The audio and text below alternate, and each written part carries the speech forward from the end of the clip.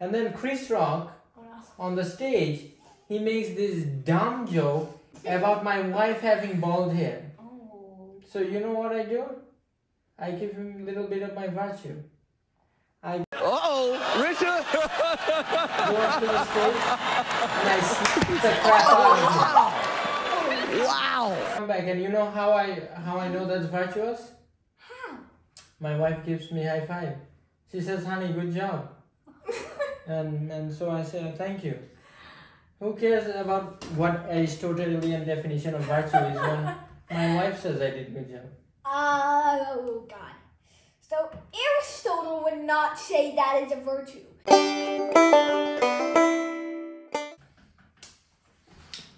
How are you, baby? Great. Hmm. Okay, Remo, can we? Should we start? Yeah. All right. So didn't we hear the stories that I told you about Plato and Socrates? You have a monster in the belly? Uh, not in my belly, uh, in my mind. Sure. Okay. And of course, it's rel related to Plato and Socrates. We So- are, we are ready. This story is about Aristotle.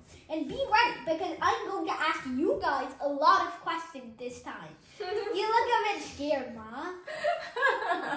Yeah, you're definitely scared. don't worry, don't worry. They're going to be easy questions. A short summary of Aristotle's life. Sure. So, Aristotle was born in 384 BCE in the city of Stagira, Greece. It's not really a city anymore, it's a really small town. But anyway, he was born there in 384 BCE. When he was 17, he started to, um, to move to Athens and he studied at Plato's Academy until 347 BCE when Plato had a mild case of death. After that, he when he was 37 in 400, 347 BCE, he moved to the island of Assos off the coast of western Anatolia. Then over there, the king was actually very friendly to him, and the king was also uh, very amiable to philosophy, and he was a friend of Aristotle. Aristotle met his first wife there, Pythias. After that, he moved back into Greece. And he was called by the king of Macedon, who was like, hey, can you tutor my son? And uh, Aristotle agreed. So, when this, so guess what the name Ale- of Ale- A- Alexander? exactly right. And guess who he would later become? Not, not you, Dad. Alexander the Good. The good. The good or the great? Oh yeah. All right. Well, he wasn't really great in what he did to the people he conquered, but so, um, so that, so he tutored uh, Alexander from what looks to be the ages of 13 to 15, though we don't actually have much concrete evidence for how long he taught Alexander. Because we don't know much about his life between 341 BCE to 335 BCE. But anyway, after that, he moved back into Athens. But he was scared of being executed because um, uh, there was an anti-Macedon sentiment all over Greece. And considering his connections to the kingdom of Macedon, he did not want to be in Athens.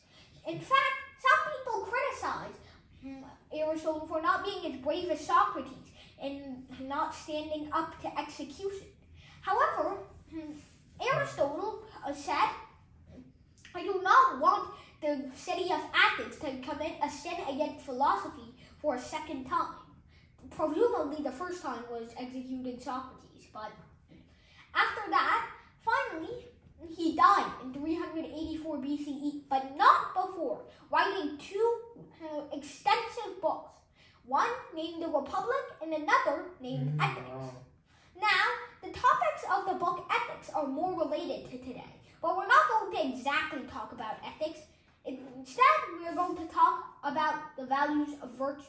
In fact, you know how I talked about how Aristotle tutored Alexander the Great earlier? Well, he, he was said to have tutored Alexander the Great on the subject of virtue. Now, if you look it up, virtue is sort of like a synonym to good. But can you really tell me what virtue means? First of all, what is your perspective on virtue, Rishad? Uh, do you want to hear a story that I have that shows my virtue? Oh, all right. Why are you smiling? So I was at the Oscars the other night. Oh God. Okay.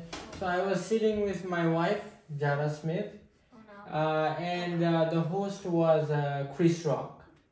Okay, so I was relaxing, and um, my wife, as you know, she has alopecia, so that means she she loses her hair due to the disease.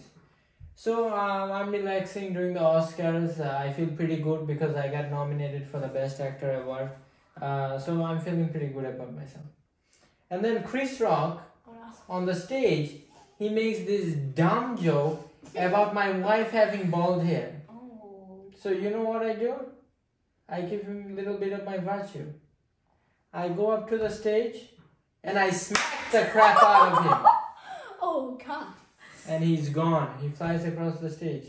So and I and I come back and you know how I how I know that's virtuous? How?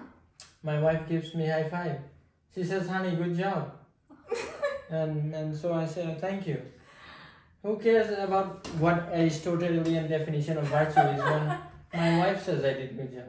Uh, oh God. So Aristotle would not say that is a virtue.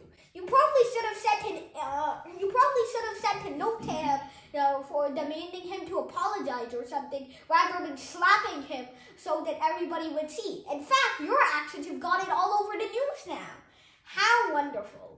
All right. So, what is your perspective on what virtue? I can give you an example. You know, I'm a teacher, and yes, of uh, course you are. and other day I was proctoring, and I caught one of my students cheating. Oh no. And you know, I don't allow a student do illegal thing. I, Wait, I- illegal? yeah, because cheating is illegal, of course.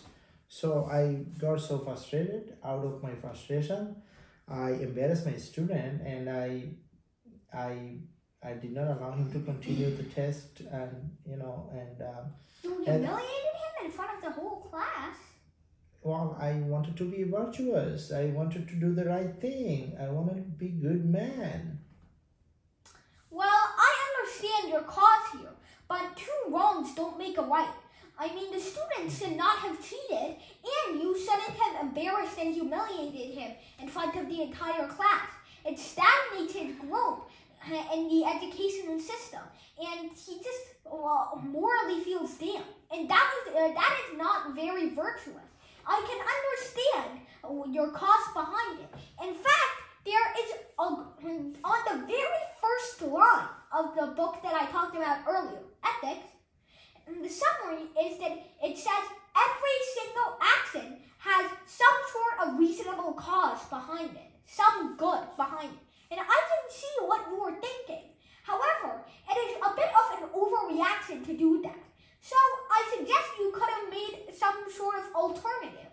So, like for example, we and an alternative you could have chose maybe hmm, to invalidate the test score, send an in, uh, send a note home, or maybe tell them to make the test up again, or maybe send them to the principal. Though the principal would have to do a virtue too in order for that to actually work well. So that, uh, that is my advice for it. I'll consider these alternatives. All right, and finally. Look at his face. Okay, okay. It's so finally, finally we have mom. So, uh, what is your perspective on virtue?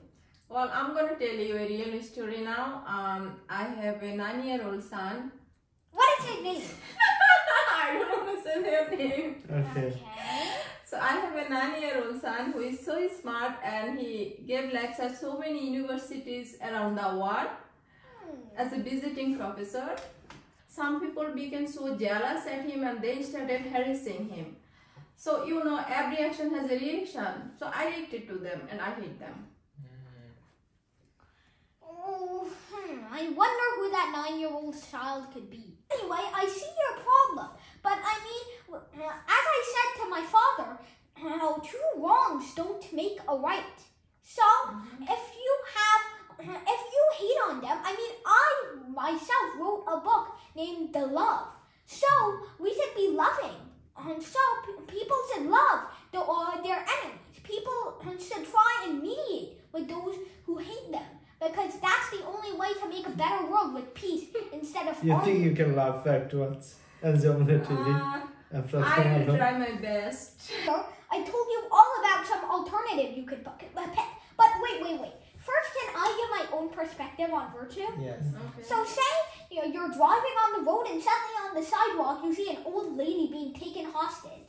I'm gonna save old lady from the town. All right, let, let, let's look at this scenario. Do you have a 100% sure? Uh, are you 100% sure that the terrorists will just collapse and die if you slap them? okay, that's true. Hmm. So you don't want me to become hero? Well, But what if you do nothing? Why not? if you do nothing, You that's become not coward. You become coward if you do nothing. that if is you, not a if virtue you, either. if you slap the terrorist, then you become hero. being being a reckless hero is not a virtue, but being a coward is not a virtue either. So So what What? is what should I do? uh, it's like a middle ground for uh, really. Mm. So if you're 100% sure that you can take down the terrorists, you have like a weapon or something, then you then the best virtue to do would be to try and save the old lady. But if you think there's a major chance that you can become a victim as well, and that you are endangering yourself, then uh, it- the best scenario, the best virtue would not be to just drive away or something. It would be to call the police. So Okay. doing nothing is not uh, a virtue. Doing everything and risking your own life is not a virtue either. A Mm. virtue is doing as much as you can without risking yourself. Mm. Thank you. Okay, thank you. Okay, Pooja.